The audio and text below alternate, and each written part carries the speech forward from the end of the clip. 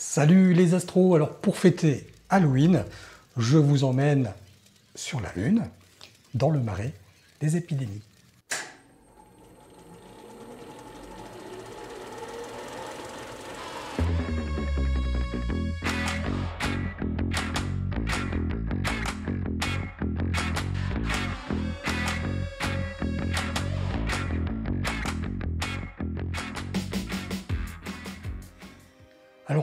Des épidémies, c'est une région lunaire plutôt méconnue. Il hein, ne faut pas se le cacher. Alors, savez-vous où il se trouve, ce marais? Comment le trouver? Savez-vous euh, ce qu'on y trouve? Et euh, avez-vous déjà entendu parler du marais des épidémies? Je vois que la plupart d'entre vous se frottent le menton d'un air perplexe. Eh bien, nous allons explorer ce marais ensemble dans cet épisode de Moon Explorer le marais des épidémies, baptisé Palus epidemiarum par l'incontournable sélénographe Riccioli en 1651. c'est une vaste étendue, euh, relativement plate hein, au final, située au sud-est de la mer des Humeurs et qui fait la jonction avec la mer des Nuées située au nord-ouest du marais. Pour l'observer dans de bonnes conditions, eh bien, je vous conseille d'attendre à peu près le deuxième jour après le premier quartier, ou bien le lendemain du dernier quartier. Donc deux phases d'observation possibles. Visible avec une simple paire de jumelles, le marais va se dévoiler véritablement l'œil à l'oculaire eh d'un instrument de 100 à 200 mm d'ouverture mais rien ne vous empêche d'utiliser une lunette de 60 à 70, 80, 90 mm, une petite lunette, pour euh, observer eh ces cratères et tenter d'apercevoir moult détails. Les spécialistes de l'astrophoto lunaire savent également eh qu'une petite lunette, un petit diamètre, peut être suffisant pour révéler des détails après empilement et traitement numérique. Donc n'hésitez pas à braquer vos petites lunettes vers le marais. En outre, la pureté de votre ciel sera de toute façon le juge de paix d'une bonne observation, quoi qu'il advienne. Commençons donc notre promenade par un panorama du marais. Le marais des épidémies mesure de bout en bout près de 300 km de long. Sa forme est plutôt irrégulière, c'est vrai. Ce n'est pas une mer de méga impacteurs bien circulaire avec des bords bien définis. Ses contours sont sinueux et euh, contournent et bourlinguent entre les terras, les collines basses et les vestiges de cratères submergés et érodés. Avec un instrument de 70 à 90 mm, on repérera facilement les cinq cratères majeurs et je vais les nommer d'est en ouest. On commence par Ramsden qui fait 25 km de diamètre. Puis le magnifique, le beau couple Campanus et Mercator qui font 48 km chacun. Ensuite Capuanus, 60 km de diamètre. Et enfin Kikuus, 41 km de diamètre. Avec des instruments plus puissants, 100 mm et plus, vous allez distinguer aisément les petits cratères, les, cratères mineurs suivants. Vous verrez le pôle, 17 km, qui est facilement reconnaissable parce qu'il a une forme de poire. Il y a Dumtorn, 17 km de diamètre, Campanus, B, 6 km, Marthe, 7 km, Mercator A, 9 km, Mercator G, 14 km et Kikus H 7 km. Voilà pour le décor général. Mais que peut-on voir si l'on s'en donne la peine, si on se rapproche, si on zoome, si on regarde bien les choses? Alors rapprochons-nous. Utilisez pour cela un grossissement un peu plus puissant. Le couple Campanus et Mercator ne vous aura pas échappé et vous aurez tendance à vouloir aller l'observer en premier. C'est ce que nous allons faire. Cet ensemble marque la frontière nord-est du marais de la mer des. Mais s'ils sont de taille identique, la ressemblance s'arrête là. En effet, les deux cratères n'ont pas du tout le même âge. On remarquera sans peine que Mercator est beaucoup plus érodé, beaucoup plus démoli et qu'il ne possède pas de pic central. Campanus date de l'Imbrien inférieur, c'est-à-dire moins 3,85 à moins 3,80 milliards d'années. Tandis que Mercator est bien plus âgé. Il date du Nectarien, une période qui date de moins 3,92 milliards d'années. C'est pas rien les chiffres derrière la virgule avec la Lune. Hein. Nous allons d'abord commencer par explorer Campanus. Campanus fait 48 km de diamètre. Ses remparts sont plus escarpés au nord et sont formés de gradins sinueux faciles à observer même avec un petit instrument.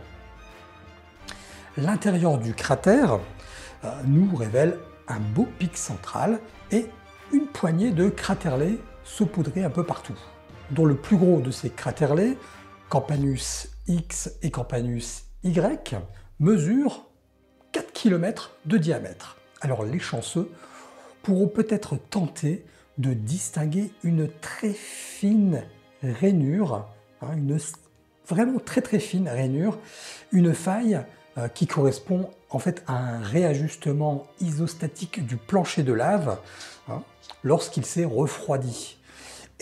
Cette fine petite rainure est coupée par d'ailleurs un petit craterlet de 2 km de diamètre que vous pourrez peut-être apercevoir. Alors c'est un défi pour vous, astrophotographe et astrodessinateur, de me trouver cette fine rainure et ce petit craterlet de 2 km. Pour cela, munissez-vous d'un instrument plutôt puissant de au moins 150 à 200 mm d'ouverture. Passons maintenant à Mercator. Mercator est un peu plus érodé, nous l'avons déjà dit, et il possède des murailles beaucoup beaucoup moins prononcées que Campanus et qui portent d'ailleurs de nombreux impacts de cratères, Mercator B, C, D, E et F, preuve de son âge un peu plus avancé. Son plancher intérieur, lui, est totalement grêlé de craterlets très très très discrets, presque invisibles avec des petites lunettes l'œil à l'oculaire, je vous l'accorde. Tandis que sa muraille sud et sud-est hein, en fait euh, se prolonge euh, en une belle région de Highlands. Au nord-est de Mercator, une très très discrète rima, la rima Mercator, prend naissance entre Mercator et Campanus. J'avoue qu'elle n'est pas évidente à ce stade, mais elle devient particulièrement visible sous une bonne lumière une fois passée sous le pied de Mercator C.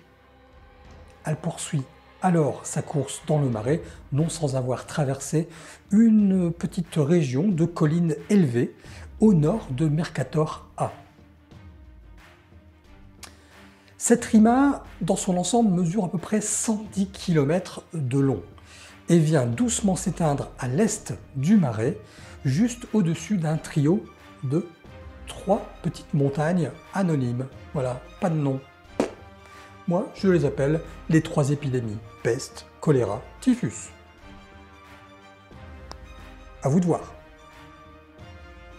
Non loin de là, au sud-est de ces trois petites montagnes, est visible le très beau cratère Ramsden. Il mesure 25 km de diamètre, facilement visible avec tout instrument. Ses remparts sont lisses et assez élevés néanmoins, et euh, il est dépourvu de pic central. Hein. Son plancher est bien lisse. Il est accompagné d'un cratère satellite, c'est-à-dire un cratère plus petit et juxtaposé à la base de son rempart extérieur, Ramsden A, qui fait 5 km de diamètre. Mais le spectacle n'est pas vraiment là. Le spectacle, il est tout autour de Ramsden. Autour de ce cratère est visible un système de fines rainures ramifiées. C'est un limbirate, c'est ce qu'on appelle une rimae. Une rimae est un ensemble, un système de rimas et de failles. Ce réseau s'étend du nord de Ramsden, passe au sud du cratère et file vers le nord-est jusqu'au pied du cratère Marthe. Cet ensemble de rimas est plus facile d'ailleurs à voir dans sa partie nord, hein, juste au-dessus du cratère Ramsden. Il faudra un instrument néanmoins de belle taille, hein, de belle puissance, pour la voir complètement. Un 300 mm, un 400 mm est parfois nécessaire. Donc ne soyez pas déçus si vous ne voyez pas euh, cette partie euh, de euh, la Rimae. Voilà, je vous le dis tout de suite. Voyons maintenant le géant du marais. Ce géant, c'est Capuanus.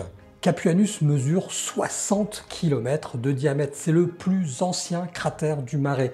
Il date du Pré-Imbrien, c'est-à-dire moins 4,55 milliards d'années. Un ancêtre. Du premier coup d'œil, d'ailleurs, on voit qu'il est bien abîmé. Ses murailles sud sont bombardées de nombreux craterlets, tandis que sa partie nord-est est pratiquement engloutie par le marais. Au nord-ouest, on distingue des lambeaux de murailles perpendiculaires qui sont des vestiges d'anciens cratères aujourd'hui totalement démolis et qui forment bien des petits lambeaux de, chaînes montagneuses. Hein, voilà. L'intérieur de Campuanus est totalement plat, recouvert de lave bien solidifiée. Avec un bon éclairage rasant, cependant, les possesseurs d'un 150 mm et plus, bon, toujours un gros appareil, hein, je suis désolé pour les petites lulus, on pourra tenter de voir 6 dômes volcaniques. Campuanus de 1 à 6. Alors, ce n'est pas manifeste, effectivement, je vous l'accorde. Euh, le plus petit dôme euh, fait à peu près 5,5 km, c'est Capuanus 1. Et le plus gros de ces dômes, Capuanus 3, eh qui a d'ailleurs une forme plutôt allongée, fait 10 km de large sur 15 km de long. Ils ne sont pas très très élevés, ces dômes, et donc il faut une lumière bien rasante et bien ouvrir l'œil, être attentif aux moindres variations de lumière. Les chasseurs de dômes volcaniques vont se régaler. Au nord de Capuanus et au sud de Mercator passe une rima rectiligne, la rima Hesiodius. Cette rima Hesiodius mesure dans sa totalité pratiquement 300 km de long, c'est-à-dire quasiment la longueur du marais. Mais elle ne prend pas naissance dans le marais. Elle prend naissance dans la mer voisine, la mer des nuées, sur les flancs ouest du cratère Hesiodius. Et pour arriver jusqu'au marais, elle traverse le fascinant champ de collines de Kikus pour pénétrer ensuite dans le marais et continuer sur 122 km de long dans le marais. Pour poursuivre notre voyage dans le marais des épidémies, je vous propose de vous arrêter quelques instants au-dessus d'un tout petit, petit, petit cratère, mais très, très curieux. C'est le cratère Marthe. Peut-être l'avez-vous déjà repéré sur les nombreuses photos que nous avons déjà pu apercevoir.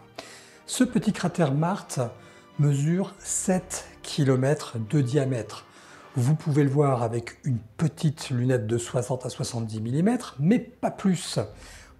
Pour pouvoir voir vraiment sa particularité et atteindre une euh, définition d'image suffisante, eh bien, il vous faudra un diamètre beaucoup plus gros et assez significatif, 100 mm et plus. Et vous vous apercevrez que Marthe, eh bien, c'est un cratère à double muraille concentrique. Il existe d'autres euh, cratères de ce type un peu partout sur la surface lunaire, mais ils sont très peu nombreux. Preuve que le mécanisme de leur formation obéit à des conditions peu banales. Alors on a de la chance parce que Marthe est sans doute le plus beau de ces cratères à double muraille concentrique. Certes, il est petit, mais il est magnifique. Pour expliquer sa formation de double anneau, il existe deux théories actuellement qui finalement s'équivaut et se valent toutes les deux. Hein. Il est même possible que ces deux théories soient tout à fait valables, que certains cratères se soient formés par l'une et d'autres par l'autre. La première hypothèse est celle de l'impact d'un météorite sur le cratère d'un volcan.